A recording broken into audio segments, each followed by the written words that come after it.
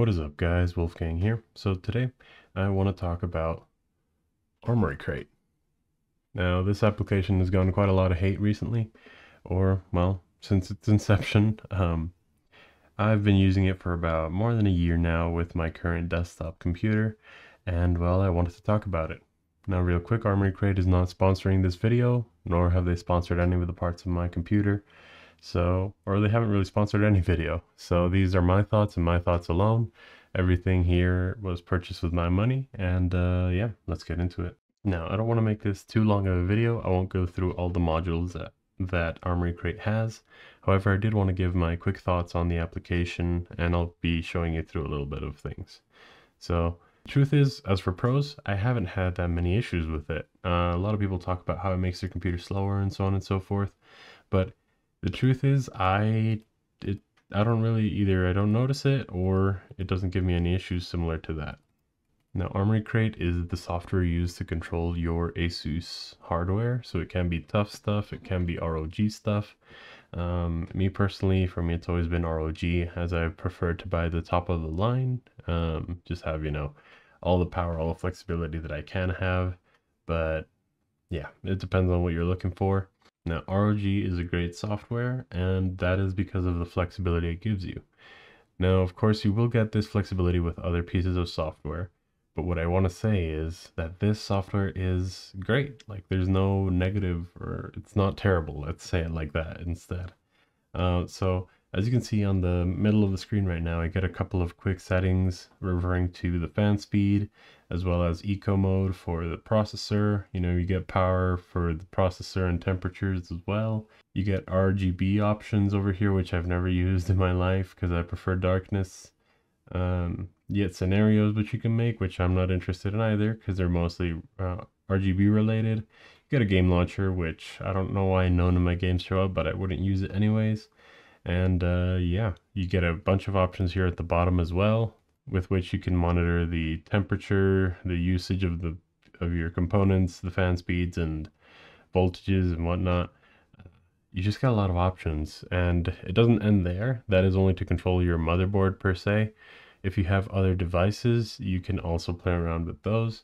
So I'm currently going to turn on my um, my Chakram X. You can see it gives us all the options to customize the hardware in here. So you get things like performance, so the DPIs, as well as polling rate. You get as well all the lighting options, and you get um, calibration. Oh, here's the liftoff uh, distance. And you get, you know, the calibration for your mouse pad. I haven't gotten it to work on mine, but uh, depending on your mouse pad, it will or not, or will not work. Mine is like a wool mouse pad, so it's kind of very inconsistent. So I think that's the issue. Um, but yeah, you get a lot of options in here, which I really do like. When you're customizing the buttons, so if we go to the uh, analog stick, you can see you get quite a lot of different options that you can set it up to. And uh, yeah, I honestly really do enjoy the software and I have not had any issues with it. Now, if you go into the motherboard, you do get a couple more options. This is mostly relating to lighting and um, stuff like that.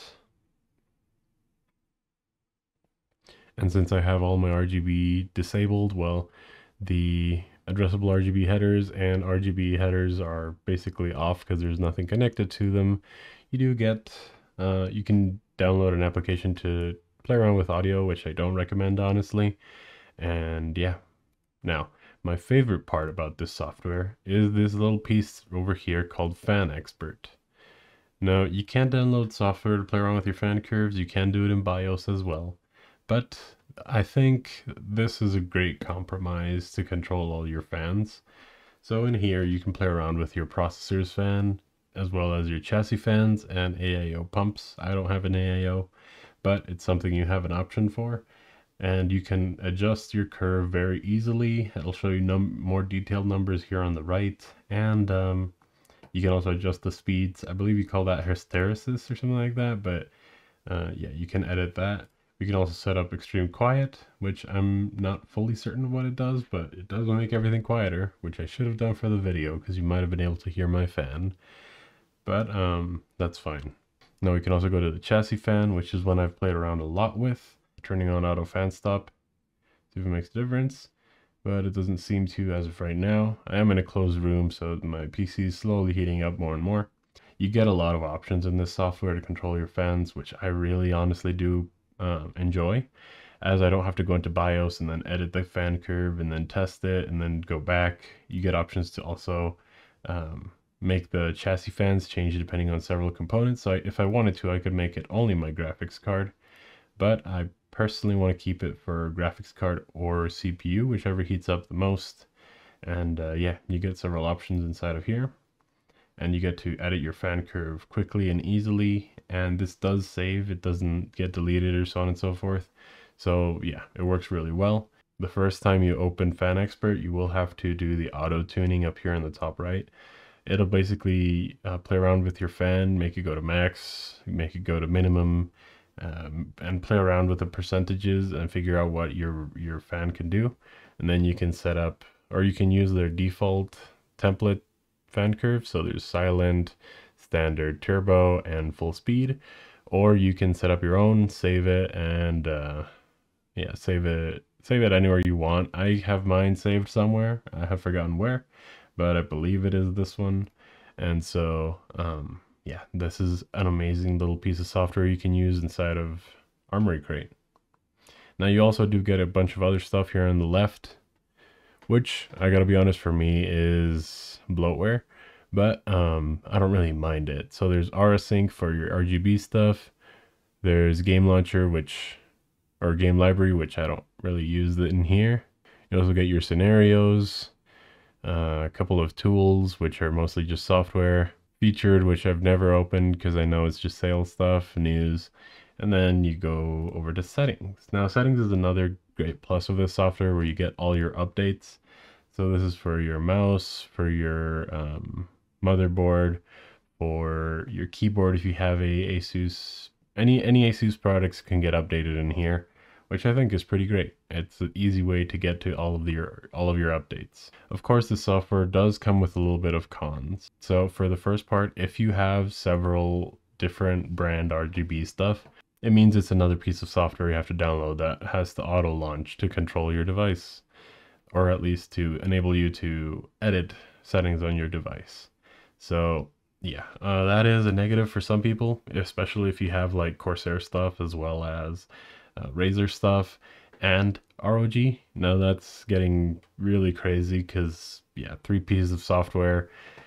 That's a lot. I've I've managed to keep all of my stuff mostly in one piece of software, so Armoury Crate. I do have, of course, some Elgato stuff, so that means two other applications. The Logitech stuff means another application, but um, yeah, I've kept it to as small as possible for me. Honestly, I I've enjoyed Armoury Crate for most of my hardware. Um, but yeah, that is a bit of a negative. And even though the software is a little bit clunky, um, a lot of people don't like it because of the loading times, for example, because it does take a bit to load in. For example, you saw when I clicked into the mouse, which I can actually do right now to make the demonstration if I go, let me turn on the mouse, that way it recognizes, which is another thing, it does have to be on, I think that's okay. But you see it did do a quick refresh there.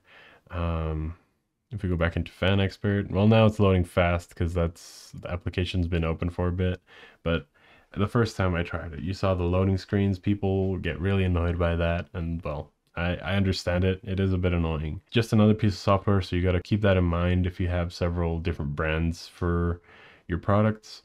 Uh, that might be a big issue for you, might be annoying, depending on your hardware as well. But yeah. And then another issue that Asus has in general has been the recent issues with the X3D CPUs. So this is the AMD stuff that Asus for some time was overfeeding voltage to them and burning some processors. Now that has been fixed now, as far as my understanding goes, and um, they now don't explode. Uh, I currently have a 7900 X3D and it has not burnt out. Actually bought it as the issues were, were popping up of the processor. I updated my BIOS real quick and uh, undervolted it a little bit just in case and I haven't had any issues. Um, my processor is still standing. The Asus stuff does come definitely with a price hike, which is like the what is it brand price? I don't remember what it's called exactly. You pay for the logo, um, which is another issue because stuff are more expensive than other brands. So you do have to keep that in mind. But I personally do think it's worth paying for, not only because I like the logo, but as well their hardware is actually pretty good. So I'm happy to pay for the premium. Now, as a conclusion, I do want to say this software is on the controversial side, but for me, it's just everything I need uh, this software to be. It's better than it was before, has great fan control, and this software has actually allowed me to install a 12 core processor using a low profile cooler by enabling the, uh, let's see, I forgot its name. I enabled the power saving mode over here, or eco mode, and it's it's allowed me to install a 12 core processor using a low profile cooler. So that's pretty good. I mean, you could probably do it in BIOS and not never have to touch the software. I'm able to do it in the software and I'm happy. Um, it enables some pretty easy updates, some flexibility for your hardware. And uh, yeah, there, there are some cons, of course, but personally, I think it's worth it. Um, so yeah, I'll be sticking with Asus for the time being.